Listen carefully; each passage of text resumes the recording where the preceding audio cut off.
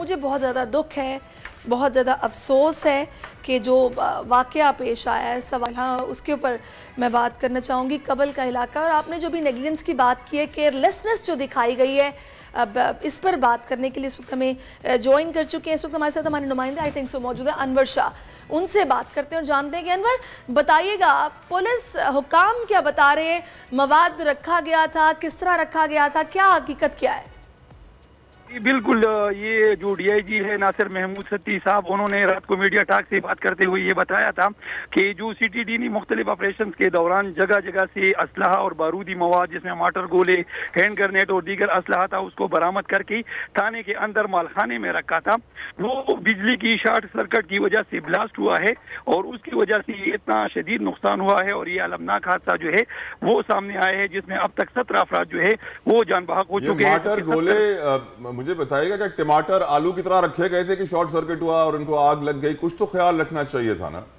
जी बिल्कुल ये सिक्योरिटी गफलत का नतीजा है क्योंकि ऐसी चीज़ों को ज़ाहिर बात है इंतहाई एहतियात के साथ और जिम्मेदाराना तरीके से रखना चाहिए था। अगर इसको रखा जाता तो आज ये हादसा पेश ना आता। लेकिन डी पी उस जो है वो कह रहे हैं कि तो वो ये ज़ाहिर कर रहे हैं उनको खदशा है कि शायद ये बिजली की शॉर्ट सर्कट से ये धमाके हुए हो। लेकिन उनका कहना है कि तहकीकत अभी जारी है और हतमी नतीजा जो है तो, वो अभी तक वो उनको नहीं पहुँचे तो लेकिन अभी भी जख्मियों को ले जाने का सिलसिला सिलसिला जारी है या फिर रेस्क्यू ऑपरेशन मुकम्मल हो चुका है तकरीबन? आ, नहीं जी रेस्क्यू ऑपरेशन ताहाल जारी है। चूँकि रात को धमाके के बाद फिर बिजली मुनकता हो गई थी तो रेस्क्यू ऑपरेशन में काफ़ी मुश्किल थी।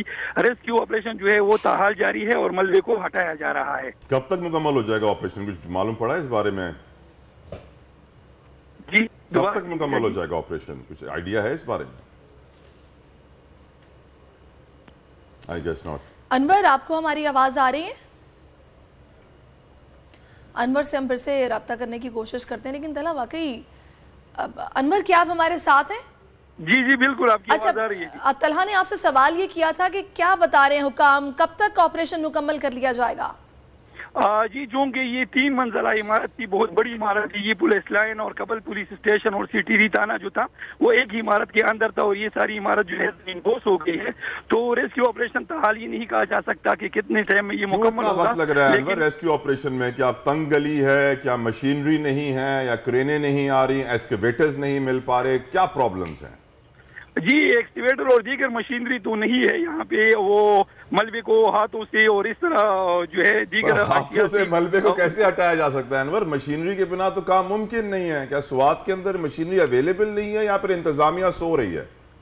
जी रात को चूँकि मशीनरी अवेलेबल नहीं थी या इन्होंने मंगवाई नहीं क्योंकि वो इमरजेंसी का वक्त था चीखो पुकार थी बहुत ज़्यादा जख्मियों की जो मलबे के अंदर पड़े थे।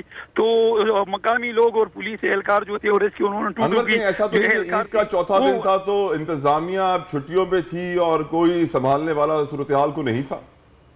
जी वो पर तो सिर्फ़ पुलिस एहलकार थी कोई सियासी शख्सियत भी नहीं थी इंतजामिया की डीसी और इस तरह की जो इंतजामिया के अफसरान है वो उस वक्त मौके पर मौजूद नहीं थे सिर्फ़ पुलिस के आला अफसरान पहुँचे थे और मकामी लोग और इस वक्त कौन कौन पहुँचा है? जी। इस वक्त कोई वहाँ पहुँचा है या अभी भी सिर्फ़ पुलिस के ही लोग हैं? अभी जी रेस्क्यू ऑपरेशन जारी है और पुलिस की बारी नफरी जो है उस इलाके में मौजूद है। तो इंतजामिया का कोई भी अफसर अभी मौके पे मौजूद नहीं, नहीं है। अच्छा अनवर सत्रह अफराद जाम बहाक है सत्तर से ज़्यादा जख्मी है। थोड़ा सा इस इमारत के हवाले से बताएगा कि इतनी बड़ी तादाद में लोग इसमें मौजूद थे। वैसे तो छुट्टियाँ भी थी अभी कल तक छुट्टियाँ हैं आज तक बल्कि छुट्टियाँ हैं। तो उसके बावजूद इतनी बड़ी तादाद में लोग यहाँ पर कैसे थे? किस तरह का इलाका है ये? जी, बिल्कुल, चूँकि जिधर ये ब्लास्ट हुआ है, जी, ये असल में एक ही इमारत थी जिसमें कबल पुलिस स्टेशन सीटीडी थाना और पुलिस लाइन, ये सारी एक ही बिल्डिंग के अंदर थी डीपीओ स्वासिफ्यू स्वासिफ्यूल्ला गंडापुर ने कहा था कि 50 के करीब एहलकार इसमें मौजूद थे। ताहम अभी ये वाज हो चुका है कि इसमें एहलकारों की तादाद बहुत ज़्यादा थी, क्योंकि सत्तर जख्मी है और सत्रह जो है वो जान भाग हो गए हैं तो ये फिगर पचास से ज़्यादा हो जाता है। खदशा है कि मलबी के नीचे मजीद लाशें और जख्मी भी पड़े होंगे। अल्लाह ताला रहम फरमाए यकीनन तशवीशनाक सूरत हाल है। अनवर हमारे नुमाइंदे में अपडेट कर रहे हैं कि इस वक्त भी रेस्क्यू ऑपरेशन जारी है और चांसेस मौजूद हैं कि मलबे तले लोग अब भी फंसे हुए हों। तीन मंजिला इमारत ज़मी बोस हुई है एस्केवेटर नहीं पहुँचे हैं मशीनरी नहीं पहुँची है सिवाय पुलिस के आ, कोई वहाँ पे लोकल एडमिनिस्ट्रेशन के इंतजामिया डी वगैरह नहीं पहुँचे हैं। यकीन ये सोचने की बात है लम्हा फिक्रिया है।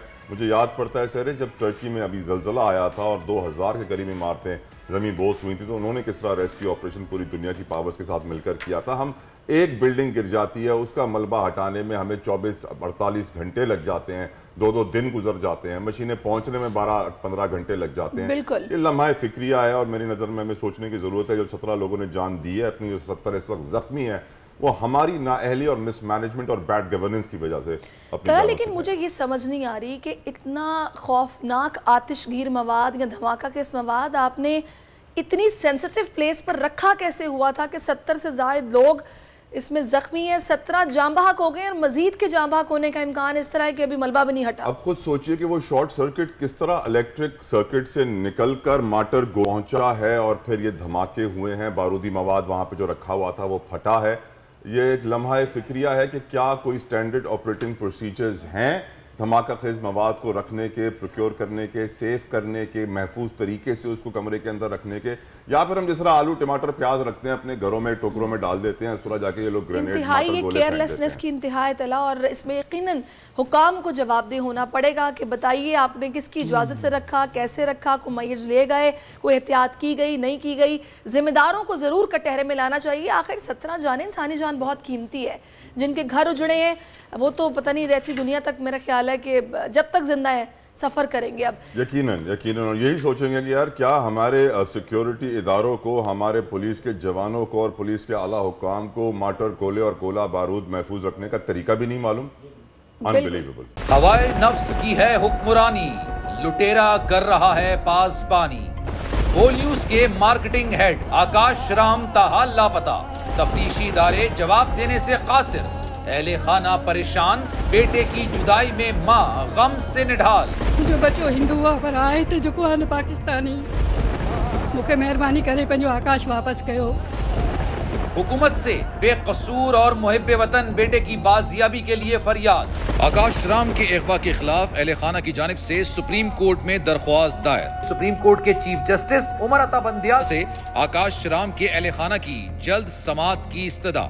मुश्किल की इस घड़ी में। आलमी मीडिया ने भी उठाई आवाज़। सी एन एन आज तक इंडिया टुडे टाइम्स नाउ समेत आलमी मीडिया ने आकाश राम के अगवा के खिलाफ दिया बोल का साथ। उफ क्या जुल्म है। बोल इंसाफ का मुंतजर। सब्सक्राइब करें और बेल दबाएँ ताकि कोई खबर रह न जाए।